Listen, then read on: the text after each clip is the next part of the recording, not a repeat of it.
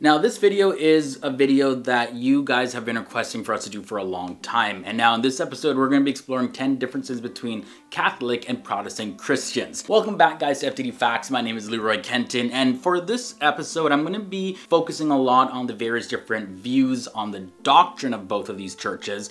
But before I get into those though, I feel like it's really important to understand why there is a split in the first place. Catholicism and Protestantism. So that's where I'm going to start off. That's the difference at number 10, the split. Now, the history of the Roman Catholic Church begins with the teachings of Jesus Christ, and he lived in the first century CE in the province of Judea of the Roman Empire. Now, the contemporary Catholic Church says that it's simply just a continuation of that early Christian community that was established at the time of Jesus. Again, there's a whole lot more that goes into the history, but that's kind of what it is summed up in a nutshell according to the Catholic view. However, over time, there were certain inconsistencies that were noticed in the church that led to a reformation.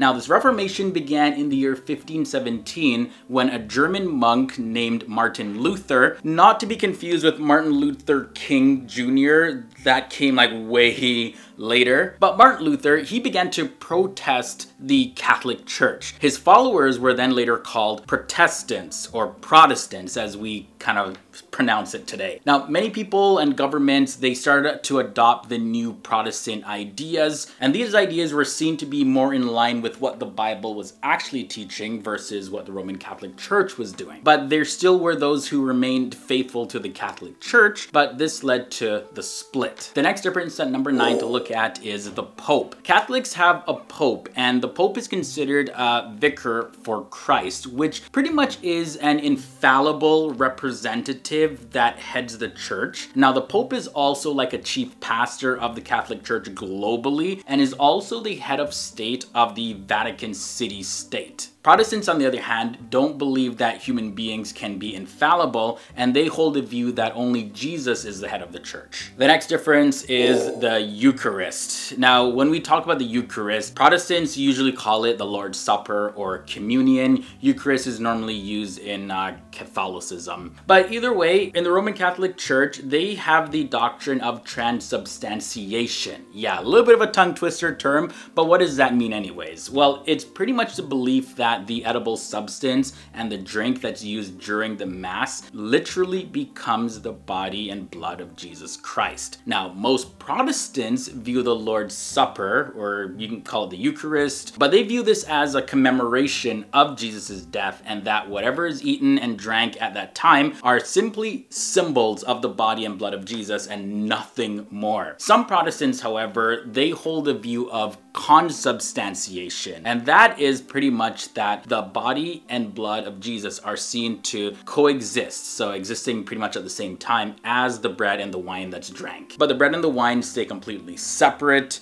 it's almost as if Jesus is present, he's covering the bread and the wine as they eat it. Again, a lot more can be said on those differences, but that's just sort of like the nutshell summary. Then there's also praying to saints. So Roman Catholics have the doctrine of intercessory prayer to saints. Saints are those people, by the way, who are viewed as holy, who have passed away, and you can pray to them in addition to praying to Jesus as well as directly to God the Father. But praying to the saints can also be more like praying through them, and it, that's kind of similar to asking a fellow church member to pray for you or pray for you and your family. But in Protestantism, there's no equivalent to this kind of veneration of saints. And Protestants, they really put a lot of emphasis that anyone can actually go and have direct access to God when they pray. They don't need to pray through no saints or anybody else. The next difference I want to look at is the authority of the churches. Now, the Catholic Church claims to be God's continuing voice on the earth, so the Bible is completely under its supreme authority. And this is why the Roman Catholic Church also believes that they can include a lot of traditions along with what the Bible teaches. Speaking of that, the First Vatican Council has this specific claim. It is not from sacred scripture alone that the Roman Catholic Church draws her certainty about everything which has been revealed, but sacred tradition transmits in its full purity God's word which was entrusted to the apostles. Now, in the case of the Protestant Church, Protestants hold the view that each individual has the authority to interpret the Bible, as well as uh, there's a lot less different traditions that are added to the Bible. So that's how the Protestants and Catholics they differ when it comes to the point of authority. Protestants say like, hey, the Bible teaches this, you know, you can't be adding traditions to it. All right, guys, so we reach halfway in this episode. If you're enjoying it so far, don't forget to leave a like on this video, as well as hit that subscribe button and ring that bell if this is your first time here to FTD Facts. That way you'll be notified of daily episodes like this. But we don't just explore the world of religion, we also talk about different countries, cultures, and people from all around the world. So if any of those topics interest you, stick around for a while and join us every day here on FTD Facts. The difference at number five is the sacraments. So Catholics are the only ones that have the concept of seven sacraments, and those are baptism, confirmation, the Eucharist like we talked about, penance, anointing of sick people, as well as holy orders, and then there's matrimony. Now, on the other hand, many Protestant denominations, such as those that are within the Reformed tradition, they identify two main sacraments that they believe were instituted by Jesus Christ himself. And those are the Eucharist or the Lord's Supper or communion, and also there is baptism. The difference at number four is salvation. Now, Protestants, they usually express the idea that when it comes to salvation, that is done only by faith in Jesus. So once a person puts their faith in Jesus,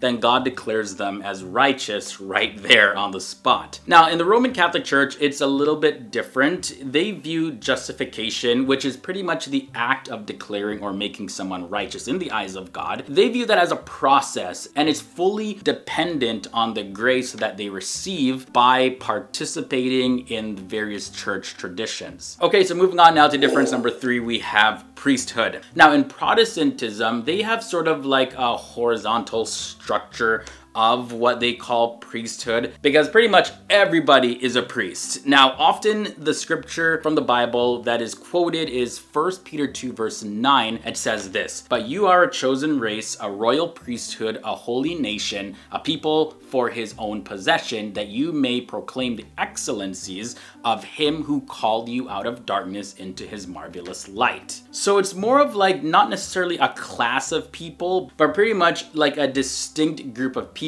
because yes, you found favor in the eyes of God. But in Catholicism, priesthood is completely different. Like priests are a class of ordained ministers that have authority to forgive and withhold forgiveness through the sacraments as well as through penance and other Catholic traditions. And that's actually a good segue to the difference at number two, and that is the tradition. So Protestants, they don't hold the view that tradition is equal with the authority of the scripture, but Roman Catholics actually have a different perspective on this. The Catholic Catechism, which pretty much sums up in a book the beliefs of the Catholic Church, says this. It says that the Church does not derive her certainty about all revealed truth from the Holy Scriptures alone.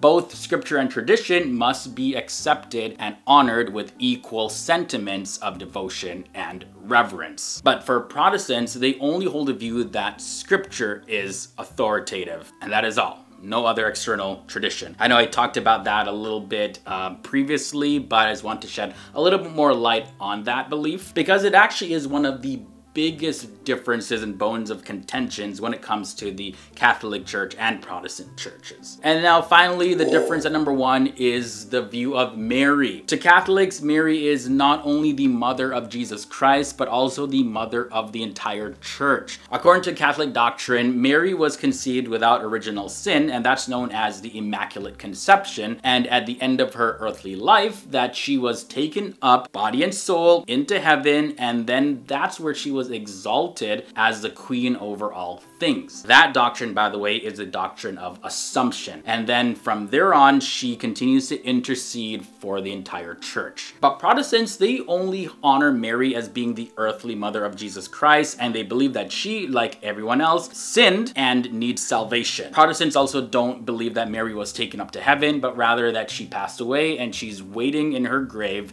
until the day of resurrection. And just like that, that ends this episode on the 10 differences between Catholics and Protestant Christians. Really hope you guys enjoyed this one and I really hope it cleared up a lot of different viewpoints and confusions that you may have had. You've probably heard the term Catholic and Protestant and you're like, what is actually the big difference? There are a whole lot more differences by the way, so if you again like this one and you want to see a part two, be sure to let me know down below in the comments section. My social media links are below in the video description section also, so give me a follow and I'll leave you the recommended episode coming up at the end screen. So thank you guys for joining me here on FTD Facts and learning with me. It's always great hanging out with you and I'll see you guys in the next episode.